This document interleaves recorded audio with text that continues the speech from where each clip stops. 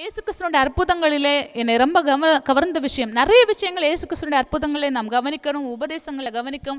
ஒவ்வொரு வார்த்தையும் ஒவ்வொரு கமாவும் இயேசு கிறிஸ்துனுடைய வாழ்க்கையில் ரொம்ப முக்கியமான ஒரு விஷயம்.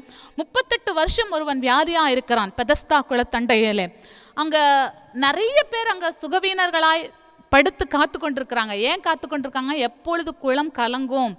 யாரா யார் முதல்ல போய் இறங்குறானோ அவன் சுகம் பெறுவான்.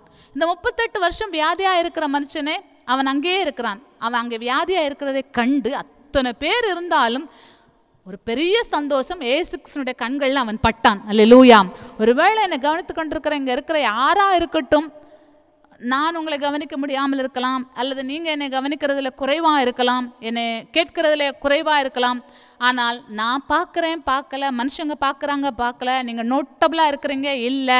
அதெல்லாம் முக்கியம் இல்லை பரலோக தேவன் இண்டிவிஜுவலாக ஒவ்வொருத்தங்களையும் பார்த்து கொண்டு இருக்கிறான் முப்பத்தெட்டு வருஷம் அவன் அங்கே படுத்து கொண்டு இருக்கிறான் அவனை பார்த்து ஆண்டவர் நீங்கள் சுகமடை வேணும்னு விரும்புகிறாயான்னு கேட்டோன்னே தண்ணீர் கலங்கும். அப்போ எல்லாரும் முந்தி யார் முந்தி இறங்குறானோ அவன் சுகமாவான். என்னை கொண்டு போய் விடுறதுக்கு யாருமே இல்லைன்னு சொல்லி அவன் வருத்தப்படும் போது ஏசு கிறிஸ்து அவனை பார்த்து உன் படுக்கையை எடுத்துக்கொண்டு நட அப்படின்னு சொல்லி சொல்கிறார் அவன் போகிற வழியிலே சுகமடைந்து போனான். அவன் அஞ்சு பதினாலில் தேவாலயத்தில் அவனை மறுபடியும் கண்டு இதோ நீ சொஸ்தமானாய்.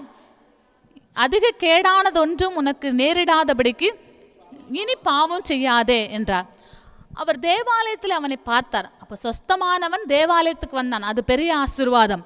நீங்களும் நிறைய பேருக்கு ஜோம் பண்ணுவீங்க. அவங்க தேவாலயத்துக்கு வர தேவன் அவர்களுக்கு அனுக்கிரகம் செய்வாராக. நிறைய பேருக்கு உபதேசம் கொடுப்போம். நிறைய பேருக்கு சுவிசேஷத்தை சொல்லுவோம். அவர்கள் தேவாலயத்துக்கு வந்தாங்களா வரலையான்னு தெரியாது. ஆனால் அவன் தேவாலயத்துக்கு வந்திருந்தான். ஜனக்கூட்டம் அதிகமாக இருந்தபடினாலே தன்னை ஒரு பரிதாபம். தன்னை சொஸ்தமாக்கினவர் யாருன்னே அவனுக்கு தெரியலை. என்ன ஒரு பரிதாபம்? முப்பத்தெட்டு வருஷம் வியாதியாக இருந்திருக்கான். எவனாவது கொண்டு போய் விடுவானா விடுவானான்னு பார்த்துட்டு இருக்கான். ஒருத்தர் வந்து சுகமாக்கி அனுப்பியிருக்கிறார். அவர் யாருன்னே இவனுக்கு தெரியலை. அவனை இயேசு தேவாலயத்தில் கண்டு இவனுக்கு யாருன்னு தெரியல தன்னை சுகமாக்கின. ஆனால் தான் யாரை சுகமாக்கினோன்னு இயேசுக்கு நன்றாய் தெரியும். அல்லூயாம் ஏன்னா அவருடைய ஒவ்வொரு மிராக்களுக்கும் ஒரு பர்பஸ் இருக்கும். எதையும் அவர் தானாய் எதேச்சியாய் வீணாய் ஏதோ டைம் பாஸுக்கு செய்கிறதில்ல. எல்லாவற்றுக்கும் ஒரு நோக்கம் இருக்கிறது. அவனை கண்டு இனி அதிக கேடானது ஒன்று உனக்கு நேரிடாதபடிக்கு நீ ஜாக்கிரதையா இரு என்று சொன்னார்.